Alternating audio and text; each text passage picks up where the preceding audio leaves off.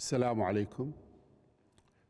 اليوم الثلاثاء الثامن من شباط 2022 عقد اجتماع مجلس الوزراء الاعتيادي وافتتح السيد رئيس مجلس الوزراء هذا الاجتماع بكلمة تقدم فيها بالعزاء إلى ذوي الشهيدين القاضي أحمد فيصل الساعدي والرائد حسام العلياوي اللذين استشهدا اغتيالا في محافظة ميسان. ما زالت التحديات الأمنية تحاول زعزعة حياة العراقيين لا سيما أنها تطول هذه المرة رجال القضاء ورجال الأمن. وتلك نقطة حساسة تعالجها الحكومة والسيد رئيس مجلس الوزراء مصطفى الكاظمي بنفسه التي أفضت إلى تشكيل عمليات ميسان. الحكومة تعمل في كل مرة نقول حتى النفس الأخير بإيجابية عالية وبحزم وإصرار على الرغم من كل هذه التحديات. كانت هناك أيضا ملاحظات للسيد رئيس مجلس الوزراء في أن الوزراء في هذه الكابينة منسجمون في أعمالهم ومتعاونون إلى درجة كبيرة أفضت إلى تحقيق نجاحات في هذه الحكومة. وكان هناك أيضا توصية ضمن الجو العام الذي يشيع هذه الأيام فيما يتعلق بمرحلة ما بعد الانتخابات وتشكيل الحكومة الجديدة وانتخاب رئيس الجمهورية في أن يشدد الوزراء ويركز على أعمالهم بإيجابية عالية دون التدخل في المسائل السياسية بالتأكيد لأن مهماتنا تنفيذية بامتياز ونحن نحرص على أدائها بكل إيجابية وبكل مهنية.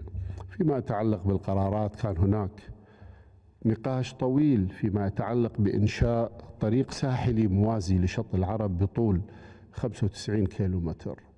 هذا المشروع أساسي ومهم وخضع لما يقرب من الساعة الكاملة من النقاش بين السادة الوزراء وأفضى النقاش إلى أن تتولى وزارة المالية تحويل المشروع الذي تشترك فيه وزارات عديدة في الحقيقة وزارة الموارد المائية وزارة الإعمار والإسكان وحتى محافظة البصرة.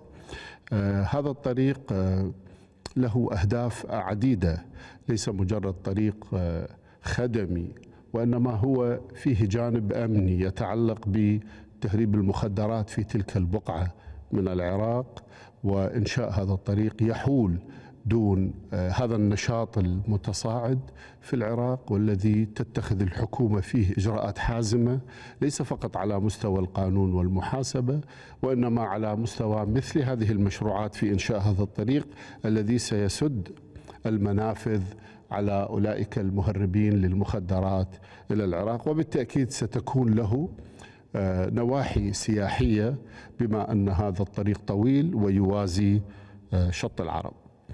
أيضا كان هناك قرار فيما يتعلق بسلطة الطيران المدني فقد وافق مجلس الوزراء على تخويل سلطة الطيران المدني التفاوض والتوقيع على بروتوكولين أساسيين معدلين لمواد في اتفاقية الطيران المدني لسنة 1944 التي وقعت أيضا في مونتريال هذا التعديل في 2016 وهذا ما يخدم مصالحنا في هذه المؤسسة مؤسسة سلطة الطيران المدني. وأخيرا كان هناك موافقة لمجلس الوزراء بعد نقاش وبعد أن عرض الموضوع من وزارة النفط على تنفيذ مشروع مصفى حديثة وهو هذا التنفيذ هو تطويري لهذا المصفى من أجل زيادة الإنتاج وتحسينه. شكرا جزيلا.